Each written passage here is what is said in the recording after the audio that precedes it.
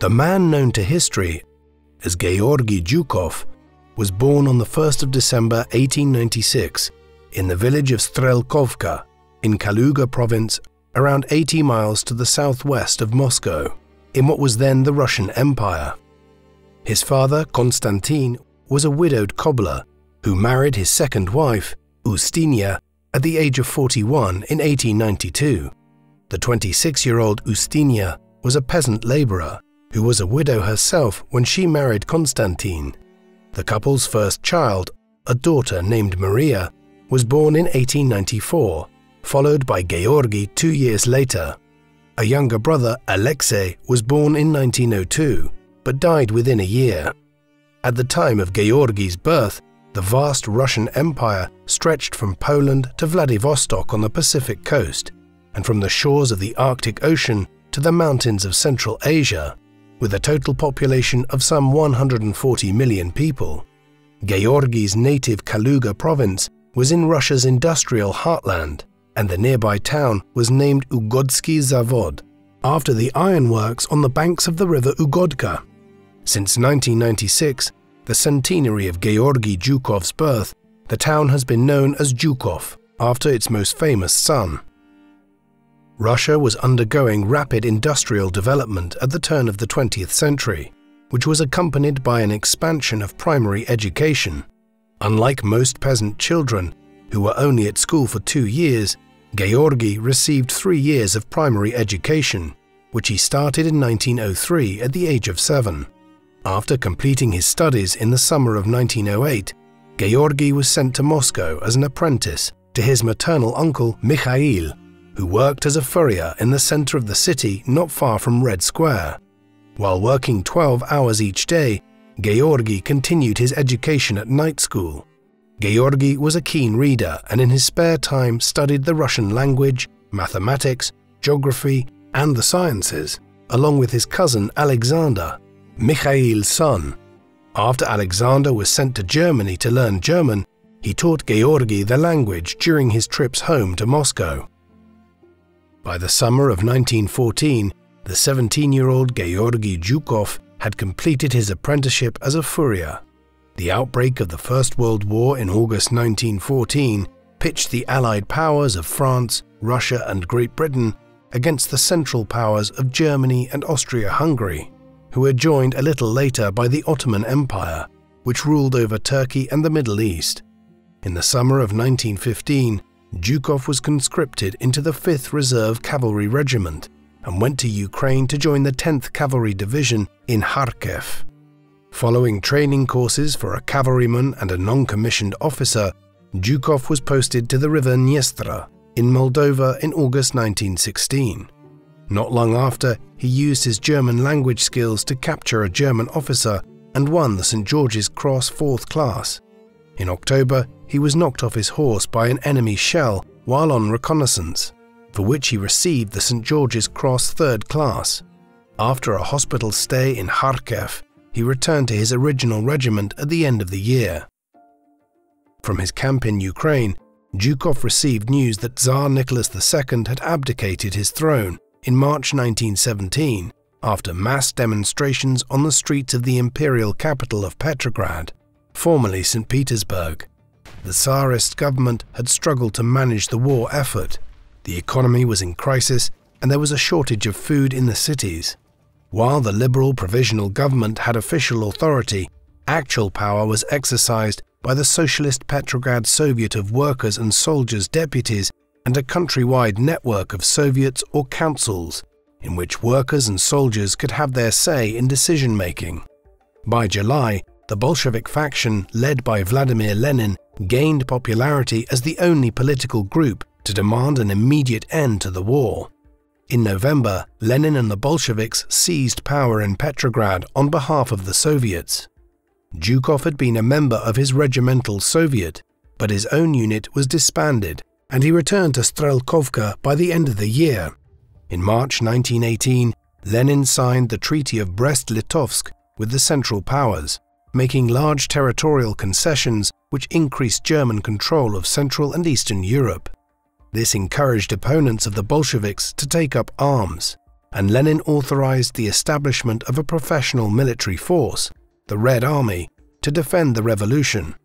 Under the political leadership of Leon Trotsky, the People's Commissar for Military Affairs, former officers and NCOs of the Imperial Army were invited to join the ranks of the Red Army, and in October 1918, Zhukov joined the 4th Regiment of the 1st Moscow Cavalry Division. In March 1919, he became a candidate member of the Bolshevik Party, which had been officially renamed the Communist Party in 1918, and a full member in May 1920. In June 1919, Zhukov saw action against Admiral Alexander Kolchak's army, advancing on European Russia from Siberia. But by September, he was at Tsaritsyn on the Volga River in southern Russia, where he was injured by a grenade. He returned to duty in January 1920 and was assigned to the 3rd Reserve Cavalry Division. But in March, he was sent to Ryazan, southeast of Moscow, where he trained as a cavalry officer. He achieved good grades in all subjects and helped to train other cadets before graduating from the course in August. He was assigned to the 2nd Moscow Rifle Brigade, which consisted of two infantry regiments and one cavalry regiment.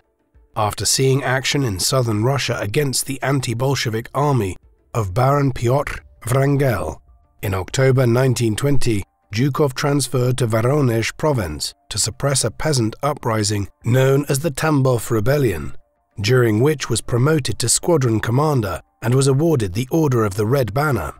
One of his comrades in arms in the suppression of the rebellion was Alexandra Zhuikova, who soon became his first wife.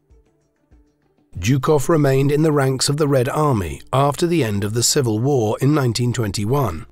In 1922, Lenin proclaimed the establishment of the Union of Soviet Socialist Republics, or the Soviet Union, which brought together the Soviet republics in Russia, Ukraine, and the Caucasus, in what was nominally a union of equals, but in practice dominated by Soviet Russia and its leaders in Moscow. Lenin had suffered a serious stroke that year and died in January 1924. A power struggle ensued among the Soviet leadership, in which Joseph Stalin, General Secretary of the Communist Party, emerged at the head of a dictatorship by 1928. Stalin's most prominent rival, Leon Trotsky, had been removed as war commissar at the beginning of 1925. His successor, Mikhail Frunze, instituted a reorganization of the Red Army's command structure. During the Civil War, the Red Army had a dual command structure under which political commissars attached to each unit could veto decisions made by army commanders. Frunze abolished the political commissar's veto in favor of a single military command, strengthening discipline in the army. Though Frunze died in the October of 1925 from complications following a surgery, he left behind a legacy of professionalism and discipline amongst Red Army officers. The Bolsheviks had abolished military ranks in the Red Army, but Zhukov's responsibilities rapidly increased in the early 1920s, and by July 1923, he was commander of the 39th Cavalry Regiment in the 7th Cavalry Division, and soon received praise for instilling discipline and order among the ranks. In October 1924, Zhukov was sent to the Higher Cavalry School in Leningrad, which had been Petrograd prior to Lenin's death. Zhukov's classmates included Konstantin Rokossovsky, a former Tsarist officer from Warsaw who enjoyed a reputation as a talented cavalry commander, and Ivan Bagramian, an Armenian who fought for the Tsar in the First World War before becoming an officer in the army of the Republic of Armenia, which was absorbed by the Red Army during the Russian Civil War. Both men played an important role in Zhukov's military career, and they recognized him as the most diligent and talented student in the class. The course ended in the summer of 1925 with a forced march from Leningrad to the river Volkhov and a swim across the river on horseback. At the end of the course, Zhukov and two colleagues from the 39th Regiment decided they would ride all the way to their division in Minsk on horseback, covering almost 1,000 kilometers in seven days. In late 1928, Zhukov became a father when Alexandra gave birth to a daughter named Era and the couple would have another daughter named Ella in 1937. In 1923, Zhukov had recommenced a liaison with Maria Volkova, whom he had first met in late 1919 while recovering from his wound, and in June 1929, Maria gave birth to an illegitimate daughter named Margarita. At the end of 1929, Zhukov went to the Frunze Military Academy in Moscow, studying the theory and practice of modern combined arms warfare, bringing together tanks, artillery, aircraft, and motorized infantry. By the early 1930s, the Red Army had developed a doctrine of deep battle, under which a heavy assault column would break through the enemy defences and encircle it from the rear. These theories were developed by Assistant War Commissar Mikhail Tukhachevsky, whom Zhukov held in high regard, but whom Stalin considered a leadership rival. After graduating from the Frunze Academy in May 1930, Zhukov was promoted to command the 2nd Cavalry Brigade in the 7th Division, where his old classmate Rokossovsky was now commander. In February 1931, Zhukov went to Moscow to serve as a cavalry inspector, reporting to Semyon Budyonny, a legendary cavalry commander from the Civil War. Budyonny praised Zhukov's leadership abilities, but added that he could be unnecessarily harsh and rude in his disciplinary methods. After two years at the inspectorate, in March 1933, Zhukov took command of the 4th Cavalry Division, made up of four cavalry regiments, a mounted artillery regiment, and a mechanized regiment. From its base at Slutsk in the Belarusian military district, Zhukov restored discipline and morale in his division and was awarded his first of six Orders of Lenin in 1935. Zhukov's four-year stint as a divisional commander coincided with a massive investment program in the Soviet military. By the end of the decade, defense spending increased to 25% of the state budget, and the army's manpower increased from 1 million to 4 million. In 1935, the Soviet army reintroduced military ranks up to colonel and created the new title of Marshal of the Soviet Union. The five men awarded to the accolade included Stalin's close associates Kliment Voroshilov and Semyon Budyonny, as well as the politically suspect Tukhachevsky. Less than two years later, in May 1937, Stalin initiated a purge of the Red Army's leadership, during which Tukhachevsky and two of his fellow marshals were arrested and executed. The dual command system was reintroduced to assert political control over the army, and more than 34,000 officers were dismissed. Most of them were shot or died in prison. The expansion of the Soviet army and the purge of the Soviet officer corps allowed the likes of Zhukov, who kept his head down and raised few objections to the arrests and denunciations taking place around him, to rapidly rise through the ranks. In July 1937, he was given command of the 3rd Cavalry Corps, and in under a year he was named deputy commander of the Belarusian military district in June 1938.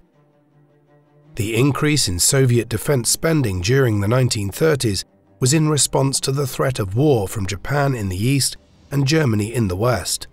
In 1931, Japan's invasion of the Chinese province of Manchuria on the Soviet border led to fears that Japan might expand into Siberia. The growing power of Adolf Hitler's Nazi Party in Germany created a new threat closer to home, as Hitler urged Germany's eastward expansion at the expense of the Soviet Union.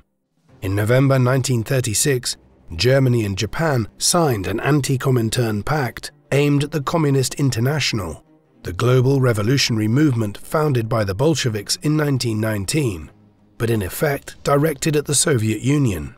When Japan invaded northern China in 1937, Stalin provided military aid to the Chinese nationalist government. Sino-Japanese relations were further complicated by the Communist People's Republic of Mongolia, established in 1924 with Soviet backing. A series of border disputes between Mongolia and the Japanese puppet state of Manchukuo escalated over the decade leading to skirmishes at the Khalkha River, better known by its Mongolian name of Khalkhin Gol, in 1939. In May, the 42-year-old Zhukov was sent to Khalkhin Gol to report on the 57th Special Corps deployed in the area. By the time of his mission to Mongolia, Zhukov had served in the military for 23 years, more than half his life. He had fought in the First World War and the Russian Civil War as a cavalryman and took a close interest in the development of mechanized warfare. He was recognized as a hard-working officer and stern disciplinarian, and not only survived but thrived during the Great Purge. Within days of his arrival at Khalkhin Gol, Zhukov carried out an inspection and sent a critical report to Moscow, following which he was appointed commander of the 57th Corps on the 12th of June. On the 19th of July, the 57th was reorganized into the 1st Army Group, allowing Zhukov to report directly to Moscow. After suffering thousands of casualties fighting to defend the Soviet positions on the east bank of the river in July, Zhukov requested significant reinforcements for an offensive in August. By the middle of August, Zhukov had more than 60,000 men, over 500 artillery pieces, 900 tanks and armoured vehicles, and 500 planes.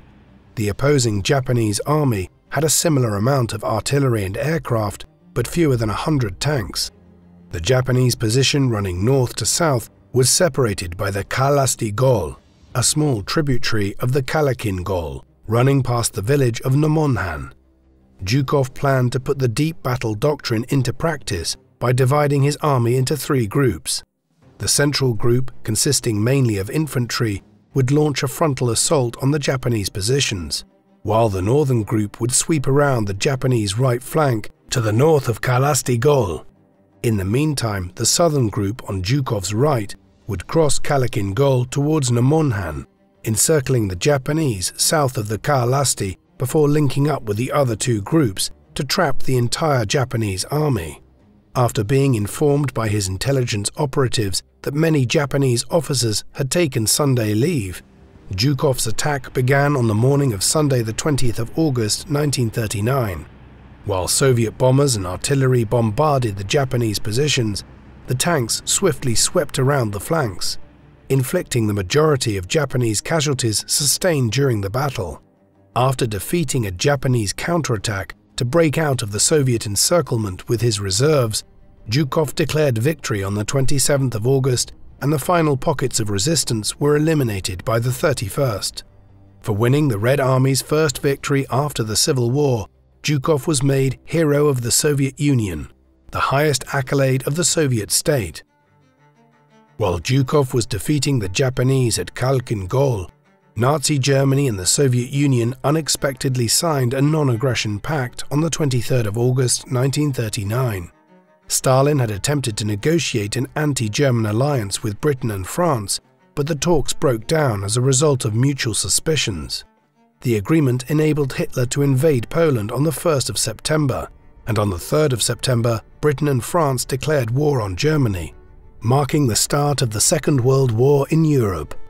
On the 17th of September, as part of a secret agreement with Germany to partition Poland, the Soviets invaded Poland and occupied the Baltic states of Estonia, Latvia and Lithuania. The Soviet invasion of Finland in the winter of 1939-40 proved a disaster, with Soviet forces suffering more than 300,000 casualties in three months, despite enjoying numerical superiority. Zhukov remained in Mongolia until May 1940, finalizing details of the border with the Japanese.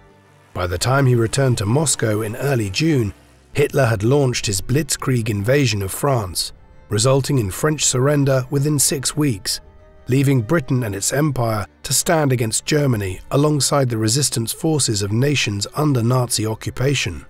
Despite the non-aggression pact from 1939, Stalin believed that after subduing his enemies in Western Europe, Hitler would turn his guns at the Soviet Union. The calamity of the Finnish War demonstrated that the Soviet military had a long way to go before it could fight the Germans on equal terms. In May, Stalin began to reform the armed forces by reintroducing the titles of general and admiral, while reinstating thousands of surviving officers arrested during the purges, including Zhukov's classmate Rokossovsky, who had been imprisoned since 1937.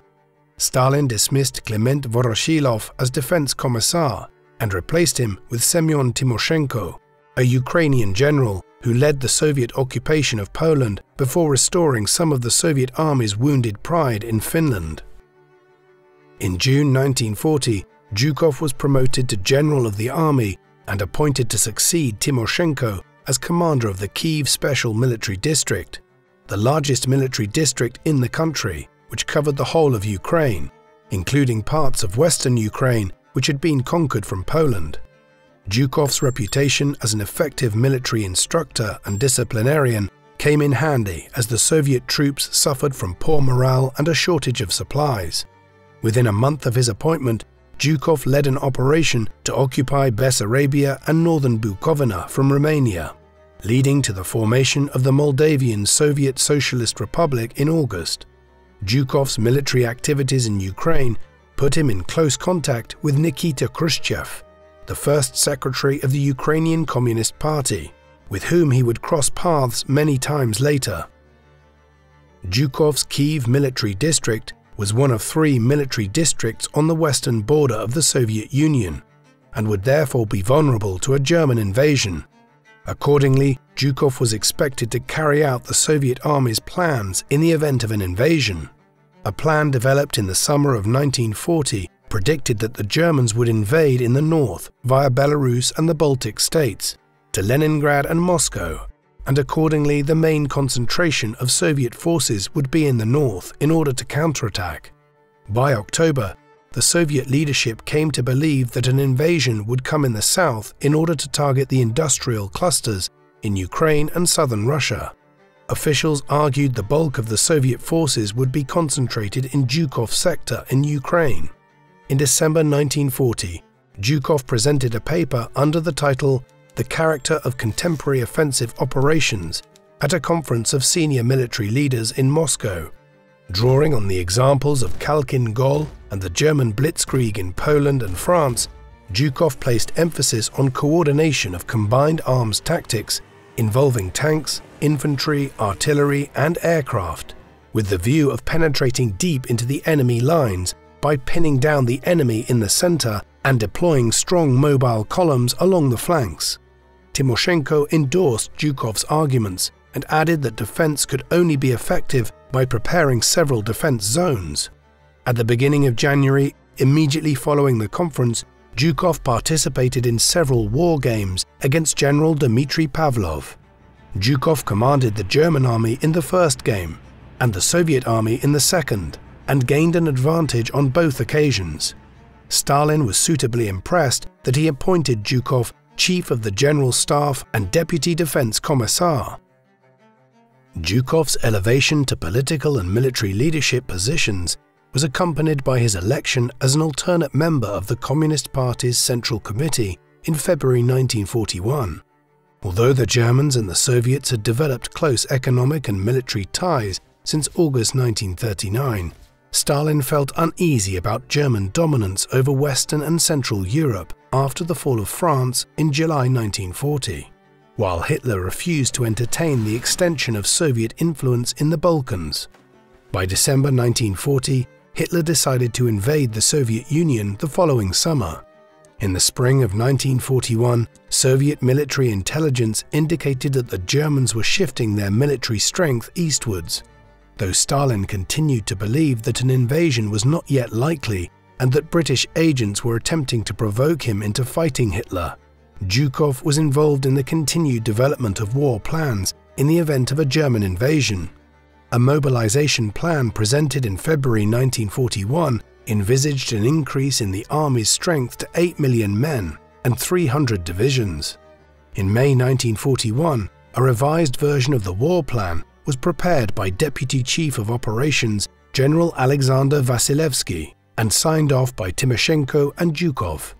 While the plan reiterated the expectation of a German attack in the south, followed by a Soviet counterattack, it proposed a preemptive strike while the Germans were still deploying. While some historians have cited the plan as evidence that Stalin was planning to attack Germany in 1941, Zhukov's biographer Geoffrey Roberts argues that there is no indication that Stalin had approved or even seen the plan, and the measures taken by the Soviet army during the first half of the year were not sufficient for a preemptive strike. By June, the risk of a German invasion was heightened, and on the 19th of June, Zhukov ordered Soviet commanders on the Western Front to move their forward command posts. While these orders were still being carried out, the German invasion of the Soviet Union, codenamed Operation Barbarossa, began on the 22nd of June 1941.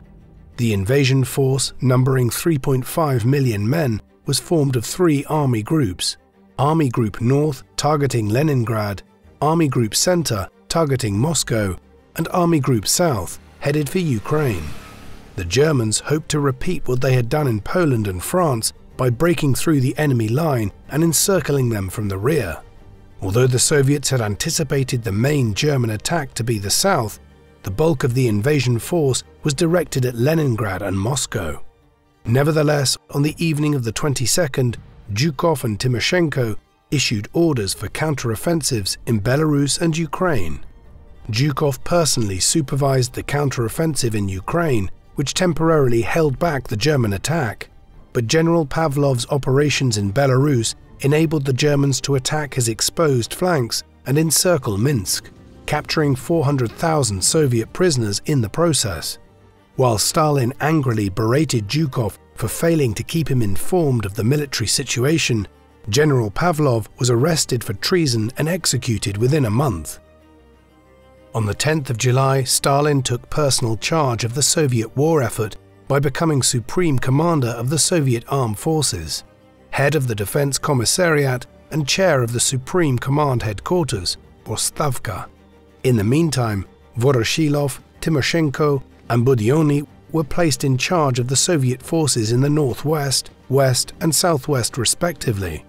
During the first month of the war, Zhukov followed Soviet doctrine by issuing a series of orders for counterattacks, which gained little ground and sustained heavy casualties. Nevertheless, he retained his composure and on the 15th of July issued instructions on the front to reorganize the large unwieldy army and corps commands to enable commanders to respond more effectively and rapidly to changing situations. On the 30th of July, Stalin ordered Zhukov to command the reserve front and lead a counteroffensive against the German bulge or salient at Yelnya, near Smolensk. In his autobiography, Zhukov claimed that he had been removed by Stalin as chief of staff on the 29th, after the latter disagreed with Zhukov's proposal to withdraw from Kiev. Geoffrey Roberts argues that Zhukov had adopted this narrative to distance himself from the disaster befalling the southwestern front in Kiev. Stalin believed that the Soviet defeats at the beginning of the war were due to poor discipline in the army. On the 16th of August, he signed an order for Soviet troops not to retreat one step, with extreme repercussions for the so-called deserters and their families. The directive prevented Soviet troops from retreating in good order and exposed large army formations to encirclement. By mid-September, the Germans had encircled Kiev and inflicted more than 700,000 Soviet casualties. Zhukov was far more successful in conducting the Yelnya offensive, one of several counterattacks designed to hinder the German offensive towards Moscow, which prompted Zhukov's wife and daughters to evacuate from the capital in August. After his initial attacks were repulsed, on the 30th of August, Zhukov resumed his attacks against the bases of the German salient, completing the operation to eliminate the salient by the 6th of September. Despite heavy losses, the Yelnya offensive was the first Soviet victory of the war and helped to restore Soviet morale.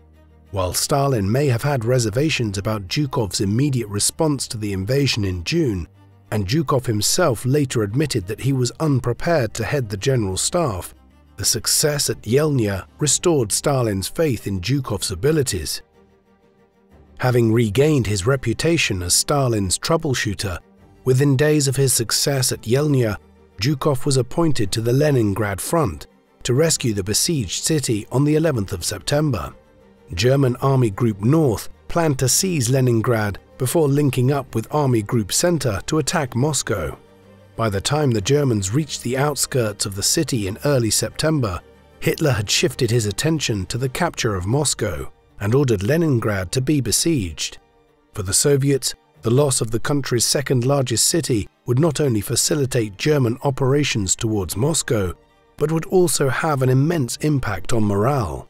As commander of the Soviet forces in the northwest, Marshal Voroshilov had delayed the German advance, but failed to prevent the enemy from surrounding the city on the 9th of September.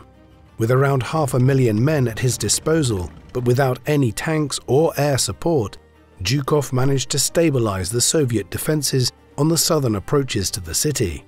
Though Hitler had already been withdrawing forces from Army Group North to support the attack on Moscow, Leningrad remained under siege for another three years, resulting in more than a million civilian deaths, though it did tie down German forces.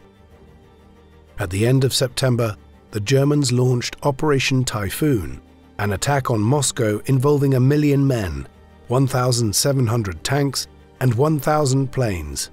The defense of Moscow was naturally the most important task for the Soviet military in late 1941, and accordingly, Stalin summoned Zhukov to Moscow in early October.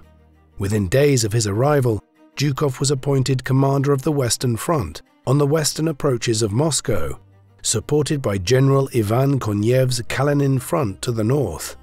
Zhukov's task was complicated by the fact that in early October the Soviets had already lost half a million men, encircled in Bryansk and Vyazma southwest of Moscow. Before Zhukov's arrival, the line of defences had shrunk to be centred on Mozhaysk near Borodino, the site of the great battle between General Kutuzov's Russians and Napoleon's Grande Armée in 1812. After the collapse of the Mozhaysk line on the 18th of October, the Soviet authorities declared that Moscow was under a state of siege. On the 1st of November, Zhukov issued an appeal to his men, reminding them of their illustrious predecessors who had defeated Napoleon, vowing that in this hour of danger we will not spare our forces or our lives in erecting a steel wall in defense of the motherland and in defense of its sacred capital, Moscow. While Zhukov was forced to withdraw further towards Moscow, his constant counterattacks weakened the German offensive, enabling him to reinforce his armies. On the 7th of November, the 24th anniversary of the Bolshevik Revolution, Soviet troops paraded in Moscow on their way to the front. In his address at the parade, Stalin appealed to the great heroes of Russian military history Alexander Nevsky, who defeated the Swedes and the Germans in the 13th century, Dmitry Donskoy, who defeated the Tatars in the 14th century, Kuzma Minin and Dmitry Pozharsky, who liberated Moscow from Polish occupation in the 17th century, and Alexander Suvorov and Mikhail Kutuzov, who fought the Turks, Poles, and the French at the turn of the 19th century. By the end of November, the Soviet defences west of Moscow had withstood the German onslaught, and Zhukov was able to send reserves to turn back the German offensive. In the meantime, Stalin had built a large reserve force for a counteroffensive which began on the 5th of December. Zhukov relied on his preferred tactic of launching a central assault to hold the enemy centre, while carrying out strong attacks on the flanks to destroy the German forces attempting to encircle Moscow. Almost 400,000 Soviet troops attacked 250,000 men of Army Group Center, and by the end of December, Zhukov's men had advanced over 100 miles. Zhukov's successful defense of Moscow was not only celebrated by the Soviet press, but made the front pages of the Western newspapers. Stavka hoped to build on the successful counteroffensive by launching a more ambitious attack towards Vyazma and Rzhev to encircle and annihilate Army Group Center. Stalin believed that once the initial German attacks were defeated, they would have no remaining reserves, and in January 1942, the 700,000 men of the Western and Kalinin fronts were thrown forward. Contrary to Stalin's expectations, the Germans dug in and held firm, and the offensive was abandoned in April. In his memoirs, Zhukov admitted that he had underestimated the enemy's defenses. Zhukov and the Soviet High Command continued to launch unsuccessful offences against Rzhev throughout the year, sustaining more than a million casualties in what was subsequently known as the Rzhev meat grinder. The Germans, by the spring of 1942, had lost over a million men, a third of their combat strength on the Eastern Front, without achieving their objectives of capturing Leningrad and Moscow. German strategic considerations were also influenced by the entry of the United States into the war in December of 1941, following the Japanese attack on Pearl Harbor, which was accompanied by a German declaration of war on the United States. Faced with the prospect of the Soviets receiving American military and economic aid, Hitler decided to concentrate on southern Russia and capture the oil fields of the Caucasus. In May 1942, a major Soviet counteroffensive led by Timoshenko against Kharkov was defeated with a loss of almost 300,000 men. The Soviet defeat in Ukraine ensured that the German offensive encountered less resistance and by the end of August, the Germans had reached Stalingrad, the city on the banks of the Volga which Zhukov had known as Tsaritsyn prior to its renaming in 1925. The Red Army had lost over 600,000 men, 7,000 tanks and 400 aircraft in July and August. Although the primary German objective had been to capture the Caucasian oil fields, in July, Army Group South was split into Army Group A and Army Group B. The former was to capture Rostov-on-Don and advance over the Caucasus towards Baku on the Caspian Sea, while the latter would head east towards Voronezh before turning southeast along the Don and Volga rivers to Stalingrad. Timoshenko's defenses had crumbled and his southwestern front was reorganized into the Stalingrad front. After the initial clashes outside Stalingrad, on the 28th of July, Stalin issued a famous order, not a step back, echoing Zhukov's appeals during the defense of Moscow. Although Stalingrad was far less politically and strategically significant than Moscow, the city bearing the Soviet leader's name was an industrial hub which controlled access to the Volga and the Caucasus. Stalin continued to evoke past Russian military glory, and on the 30th of July he introduced the orders of Suvorov, Kutuzov, and Alexander Nevsky. Stalin recognized that patriotism rather than ideology was the motivating factor for the Red Army, and in October he abolished the role of political commissars in the Soviet army. Soviet counterattacks failed to prevent the Germans from laying siege to Stalingrad on the 23rd of August. On the 26th of August, Stalin appointed Zhukov deputy supreme commander and sent him to Stalingrad as the Stavka's representative. The battle for the city involved the German Sixth Army under General Friedrich von Paulus and the Soviet 62nd Army commanded by General Vasily Chuikov. Chuikov was under the direct command of General Andrei Yeryomenko, the commander of the Stalingrad front, which also included several army formations supporting Chuikov's flanks. Though the Germans made steady progress on the west bank of the Volga, Chuikov continued to receive reinforcements from the East Bank. In early October, Zhukov criticized Yeryomenko's handling of the defense of the city and ordered him to turn every street and every building in Stalingrad into a fortress. After three months of heavy fighting through the streets of the city, the Germans were in control of 90% of Stalingrad, with the remaining Soviet resistance confined to the slopes of the Mamayev Kurgan a hill overlooking the center of the city, and a narrow strip among the factories on the west bank of the Volga. Chuikov's army suffered 75% casualties but remained a viable fighting force. While the Germans were advancing inch by inch in Stalingrad, Zhukov and the Chief of Staff, Alexander Vasilevsky, were planning a counter-offensive codenamed Operation Uranus to destroy the besieging forces. At the same time, Zhukov worked on Operation Mars, yet another attempt to destroy Army Group Center in Rzhev.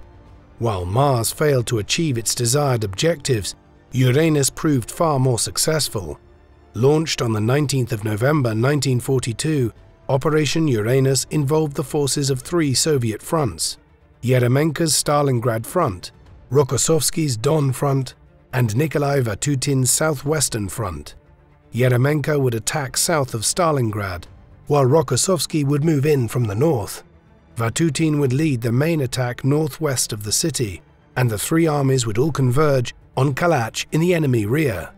Paulus was caught by surprise, and by the 23rd of November, almost 300,000 soldiers were caught in the Soviet trap, predominantly Germans, but also including a significant number of men from Hitler's Romanian, Italian, and Hungarian allies.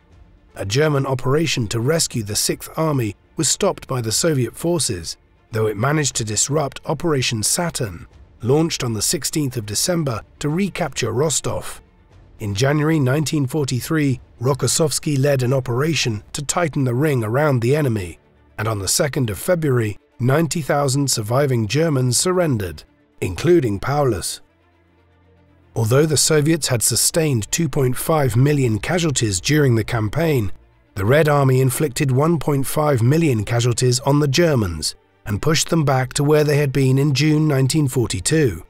By the time of the German surrender in Stalingrad, Zhukov had been back on the Leningrad front to oversee Operation Iskra, an attempt to break the siege of Leningrad. The operation was launched on the 12th of January and achieved partial success by reopening the road and rail links by the 18th. The same day, Zhukov was promoted to Marshal of the Soviet Union. Later that month, he received the Order of Suvorov for his part in Operation Uranus.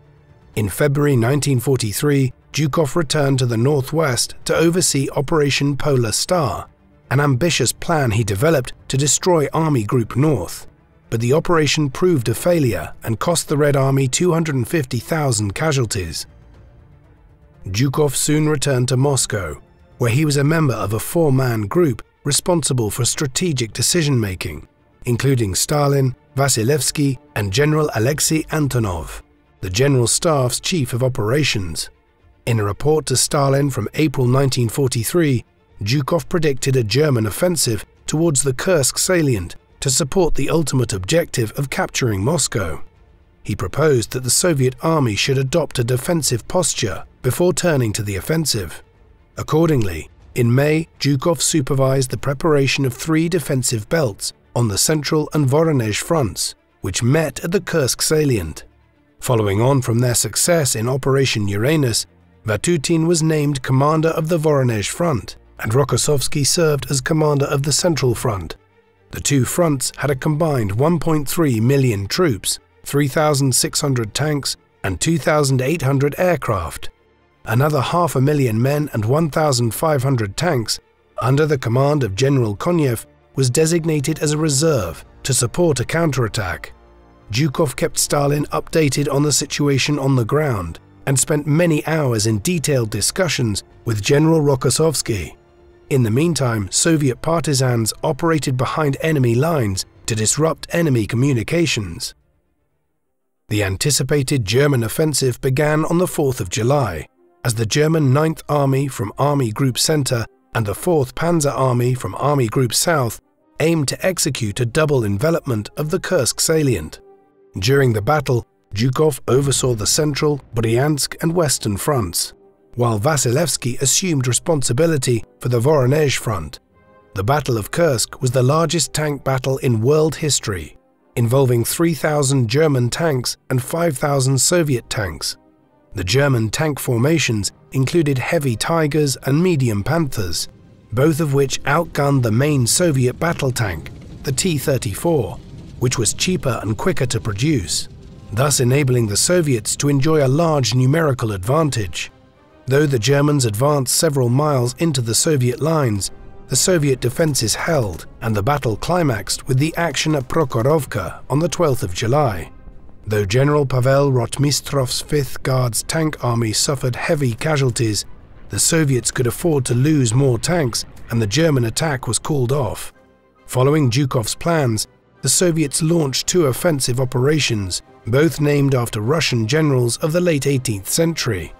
Operation Kutuzov in the north was directed against Army Group Center in the Orel salient, and by the 5th of August, Orel was captured by the Soviets.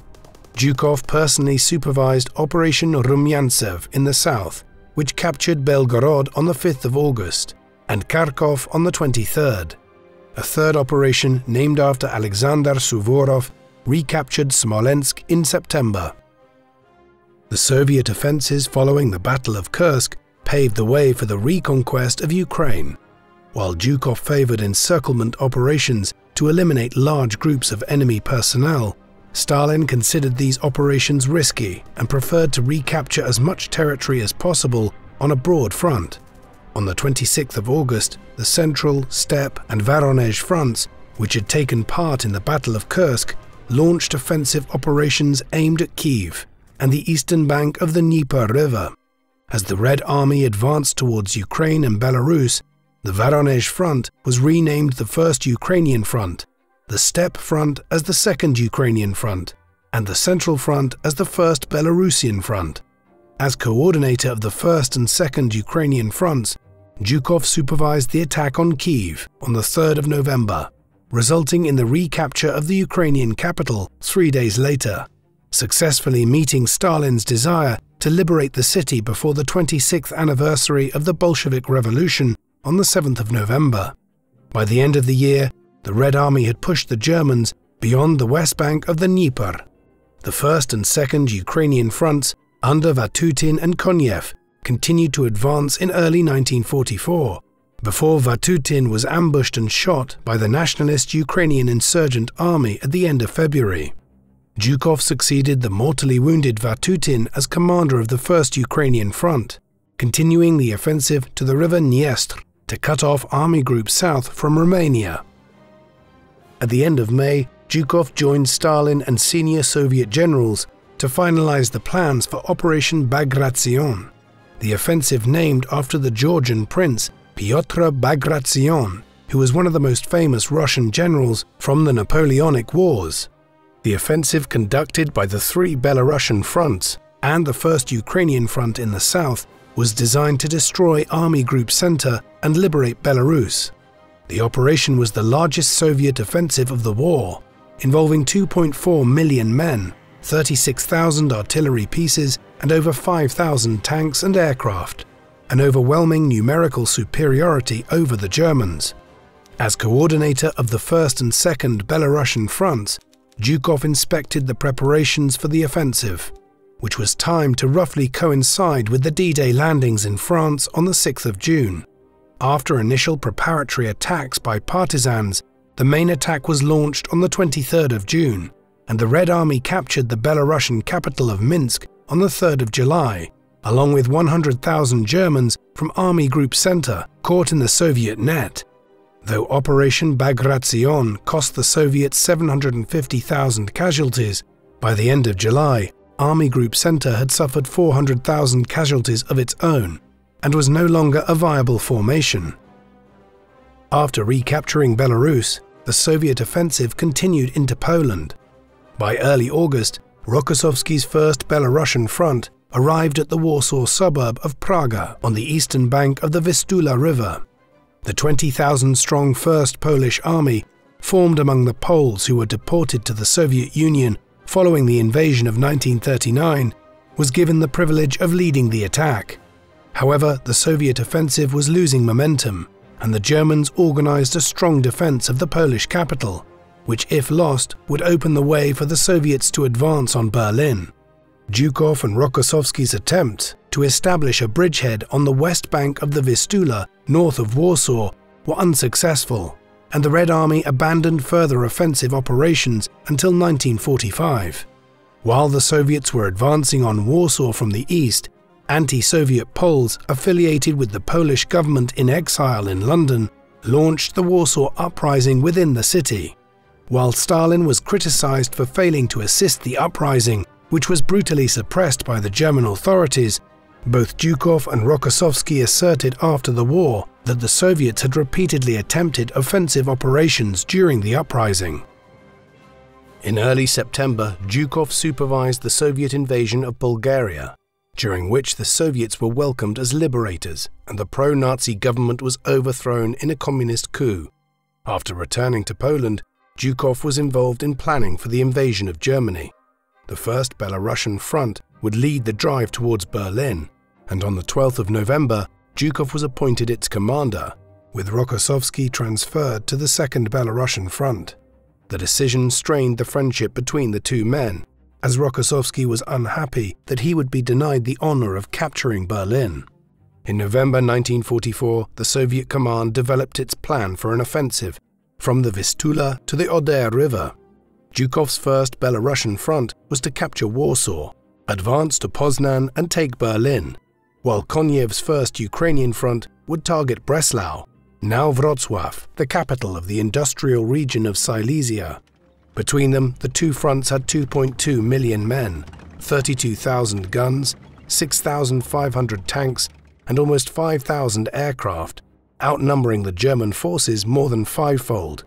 Stalin coordinated the operation himself, assisted by General Antonov, who soon succeeded Vasilevsky as chief of staff. The operation was to take 45 days, with Soviet troops marching into Berlin by the end of February. The Vistula Oder operation began on the 12th of January 1945, and on the 17th, Zhukov had successfully captured Warsaw, with the 1st Polish Army being the first to enter the city as planned. A week later, the 1st Belarusian front reached Poznan in western Poland, near the pre-war Polish-German border. By the first week of February, Zhukov was crossing the Oder, hoping to capture Berlin by the middle of the month. In the meantime, Konyev's advance was going to plan further south, but the second and third Belarusian fronts had run into trouble in the north. Stalin ordered Zhukov to halt the drive to Berlin and turn north to counter the German concentration in the region of Pomerania on the Baltic coast. By the end of March, Zhukov was in a position to submit plans for the capture of Berlin. On the 31st of March, Stalin and the Western Allied commander, General Dwight D. Eisenhower, had agreed to coordinate their advances towards Leipzig and Dresden in southern Germany. But a few days later, after receiving intelligence that the British and Americans were planning to take Berlin, Stalin ordered Zhukov and Konyev to take Berlin as soon as possible. The First Belarusian Front would take Berlin and advance up to the Elbe River, while the First Ukrainian would attack German forces south of Berlin and advance towards Dresden.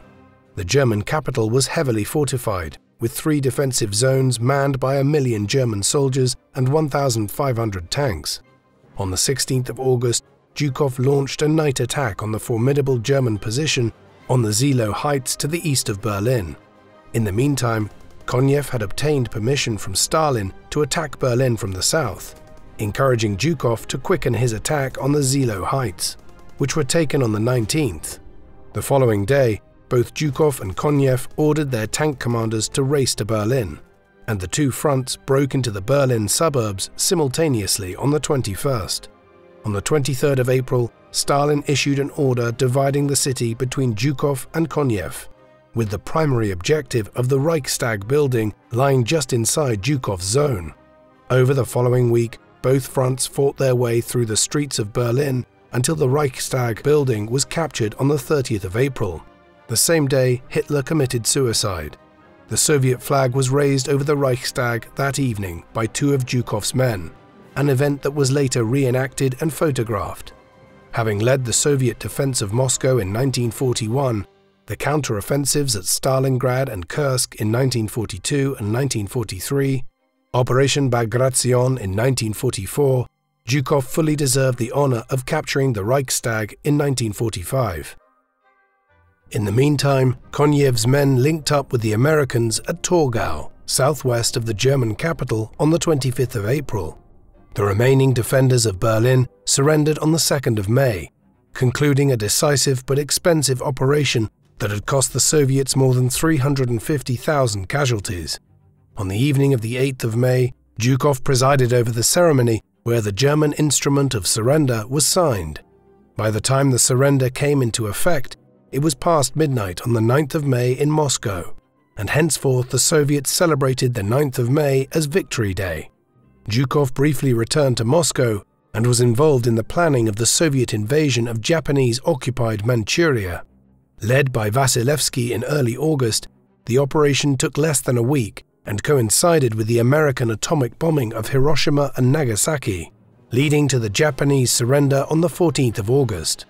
At the end of May, Zhukov returned to Berlin as commander of Soviet occupation forces in Germany.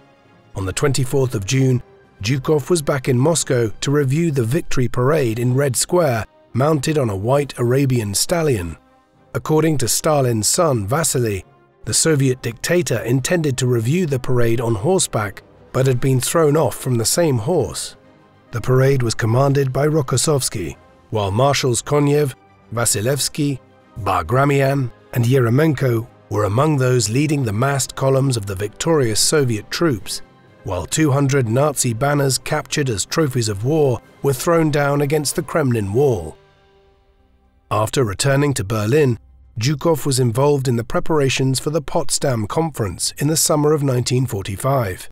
Zhukov showed British Prime Minister Winston Churchill and US President Harry Truman around the ruins of Berlin.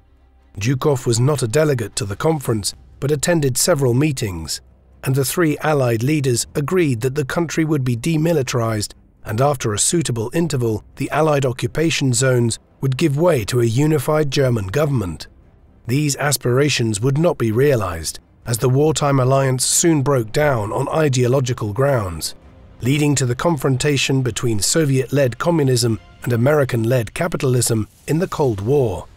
By 1948, the British, French, and American occupation zones were united into West Germany, while the Soviet occupation zone became East Germany.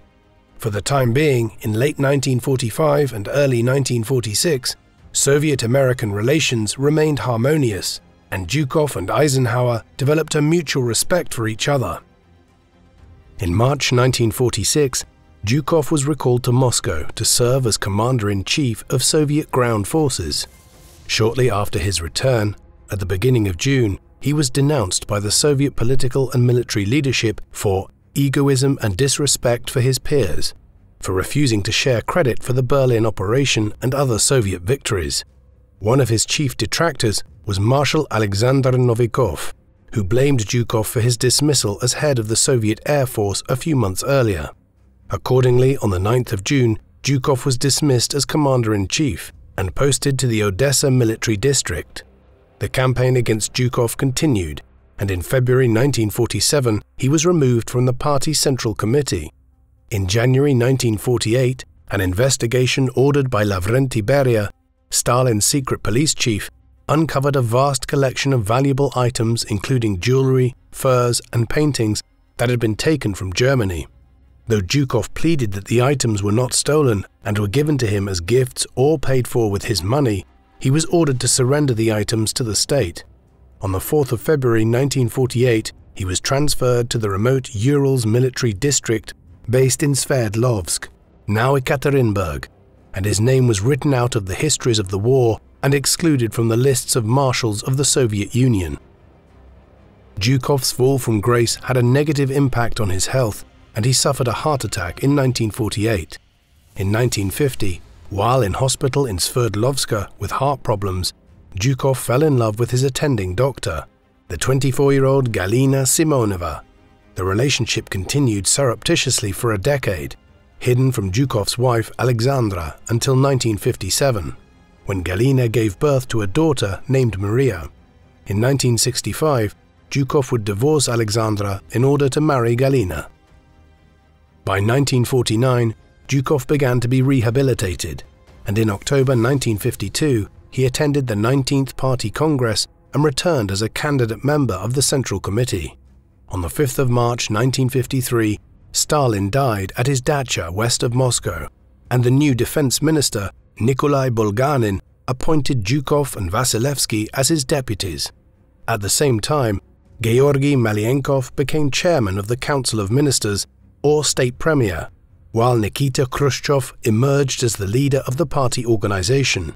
The most active member of the Soviet leadership team after Stalin's death was Lavrenti Beria, who uncharacteristically began to release thousands of political prisoners from incarceration and spoke of improving relations with the capitalist West. Other Soviet leaders feared that these initiatives were part of an attempt by Beria to seize power and Khrushchev, Malenkov, and Bulganin plotted to eliminate Beria.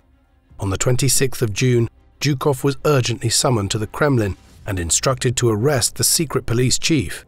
While Zhukov admitted that he had little experience carrying out such an operation, he enthusiastically agreed to execute his orders. Within two hours, Zhukov and a small group of armed officers including the future Soviet leader Leonid Brezhnev, arrested Beria and sent him to prison. Following a show trial, Beria was executed in December. As Deputy Defense Minister, Zhukov supervised the development of Soviet nuclear capabilities and conducted exercises simulating nuclear warfare. Bulganin had been careful not to allow Zhukov any political authority, but in January 1955, Khrushchev secured Malenkov's dismissal as premier and appointed Bulganin in his place. On the 7th of February 1955, Zhukov was appointed Minister of Defense, and the following month Ivan Bagramian was appointed to serve as his deputy. In an interview to the American press on the same day, he proposed a ban on nuclear weapons and expressed his hope for peaceful relations with the United States. As defense minister, Zhukov presided over the demobilization of more than 2 million men from the Soviet army, as Khrushchev sought to de-escalate the Cold War. At the same time, Zhukov and Foreign Minister Vyacheslav Molotov established the Warsaw Pact, a collective security alliance bringing together the Soviet Union and seven communist states in Eastern Europe.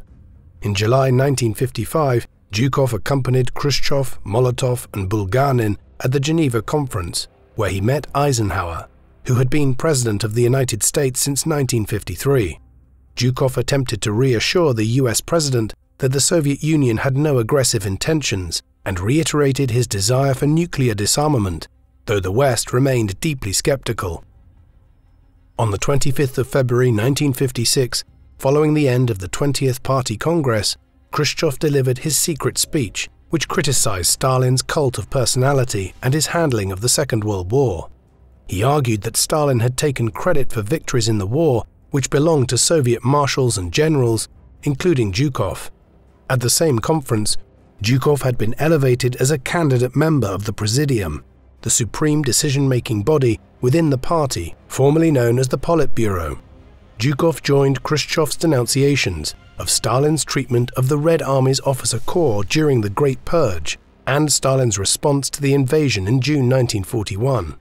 Under Zhukov's influence, Marshal Tukhachevsky was formally rehabilitated in January 1957, followed by General Pavlov, who had been scapegoated for the disaster of June 1941 in July. Although Zhukov did not have voting rights in the Presidium, his membership of the body allowed him to provide his input on political and military matters, and he played an important role in the Soviet response to the political crisis in Hungary in late October 1956. An anti-communist rebellion had broken out in Budapest, leading to the creation of a new government led by the communist reformer Imre Nagy. Zhukov hoped that Nagy would be able to stabilize the situation but Nagy's decision to withdraw from the Warsaw Pact on the 1st of November prompted a forceful Soviet response. On the 4th of November 1956, Marshal Konev led a Soviet invasion of Hungary, which resulted in 2,000 Soviet casualties and 25,000 Hungarian casualties. Following his role in the Hungarian crisis, Zhukov was awarded his fourth Order of Lenin in December 1956, on the occasion of his 60th birthday. By the summer of 1957, Khrushchev's authority in the Presidium was being challenged by the old Stalinists Molotov, Lazar Kaganovich, and former Premier Malenkov. On the 18th of June, Khrushchev was criticized for his leadership by most of the Presidium members, and Anastas Mikoyan was the only full member of the body to come to the leader's defense. The candidate members, Zhukov and Leonid Brezhnev, spoke in Khrushchev's defense but did not have voting rights. Zhukov helped Khrushchev summon a meeting of the wider pro-Khrushchev Central Committee to discuss the matter, enabling Khrushchev to survive the attempted coup. At the plenum meeting that followed, Zhukov revealed details of Kaganovich and Molotov's complicity in Stalin's purges. Zhukov was rewarded for his loyalty to Khrushchev with his promotion as a full member of the Presidium, but a few months later, Khrushchev turned against his Minister of Defense. In October 1957, while Zhukov was on a visit to Yugoslavia and Albania, he was denounced in the Presidium for neglecting ideological issues in the army. Following his return to Moscow, Zhukov defended himself from the allegations directed at him, but at a meeting of the Central Committee on the 28th and 29th of October, Timoshenko, Konev, Yeremenko, Chuikov and Rokossovsky denounced Zhukov's cult of personality. Zhukov was duly dismissed from the Presidium and the Defense Ministry, and his conduct during the war was once again criticized. Although Khrushchev had promised to give Zhukov new responsibilities, in February 1958 he was retired from the Soviet armed forces. He was under surveillance from the KGB, the secret police, and regularly criticized Khrushchev's policies, including the heavy investment in the Soviet space program. The KGB was particularly concerned about Zhukov's memoirs, which he had begun writing in the late 1950s, inspired by Winston Churchill's six volume history of the Second World War.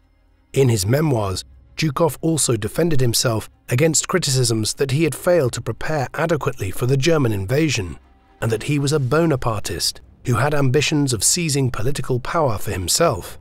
Zhukov knew that his memoirs would not be published while Khrushchev remained in power, but in October 1964, Khrushchev was ousted by Brezhnev.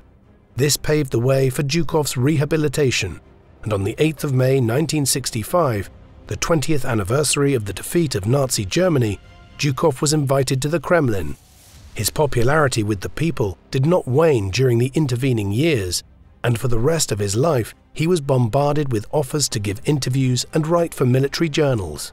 He was given access to Soviet military archives, and in the autumn of 1966 he delivered the 1,430 page manuscript of his memoirs.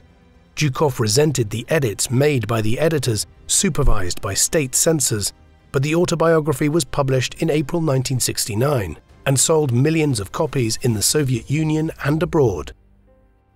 During the final decade of his life, Zhukov basked in the glow of the Soviet general who defeated Hitler and captured Berlin and he was awarded his fifth and sixth Orders of Lenin in December 1966 and December 1971, marking his 70th and 75th birthdays.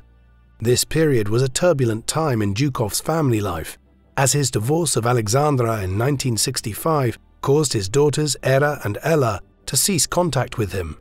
Though he managed to resume contact with his daughters in 1966, Alexandra died of a stroke in December 1967, the same month, Galina informed him that she was suffering from terminal cancer.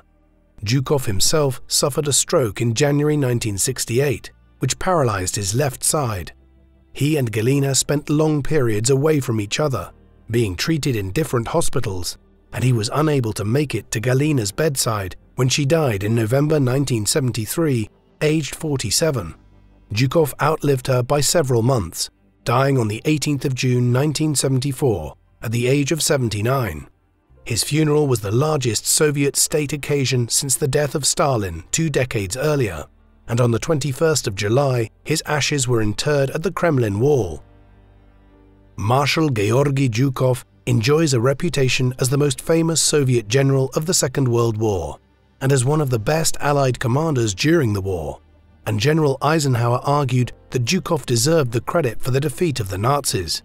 Zhukov was awarded over 70 military medals and decorations, both Soviet and foreign, including the French Légion d'honneur, the American Legion of Merit, and the British Order of the Bath. Like many Soviet World War II commanders, Zhukov began his career in the Tsarist army as a cavalryman. After the Russian Civil War, he climbed up the ranks and survived the purges in the late 1930s to deputy district command. At Khalkhin Gol, Zhukov won the Red Army's first victory since the Civil War, earning him widespread recognition and the key responsibilities of preparing for hostilities with Germany as head of the Kiev military district and later chief of staff. Despite the disasters following the German invasion of June 1941, Zhukov retained Stalin's trust and successfully managed the defense of Leningrad and Moscow. Zhukov's counteroffensives demonstrated that the German war machine was not invincible and as Stalin's deputy supreme commander, he played an instrumental role in planning the offensives that led to the encirclement of the German Sixth Army at Stalingrad in 1942, the partial lifting of the siege of Leningrad, and the Battle of Kursk in 1943, the destruction of Army Group Center during Operation Bagration in 1944, and the capture of Warsaw and Berlin in 1945. Despite this superlative war record, He was also responsible for the costly Soviet attacks against the Rzhev salient, and after the war, he was criticized for claiming too much credit for the great Soviet victories. Although Zhukov had no ambitions for political leadership, his popularity and prestige as the man who defeated Hitler's armies caused him to be sent away to distant commands by Stalin. His reputation recovered after Stalin's death, and he played a key role in bringing Khrushchev to power by arresting Beria, a scene played memorably by Jason Isaacs in the 2017 British comedy film The Death of Stalin. As defense minister, Zhukov supported Khrushchev's efforts to reduce the temperature of the Cold War and prevented Khrushchev from being ousted in June 1957, only to have the Soviet leader turn on him a few months later. Zhukov's reputation was restored for a second time under Brezhnev, and he ended his days as a celebrated war hero. What do you think of Georgy Zhukov? Was he the greatest Allied commander of the Second World War, who saved the Soviet Union from destruction before turning the tide of the battle and masterminding the defeat of Hitler and the capture of Berlin? Or did he repeatedly make mistakes which cost more Soviet lives than necessary? Please let us know in the comment section, and in the meantime, thank you very much for watching.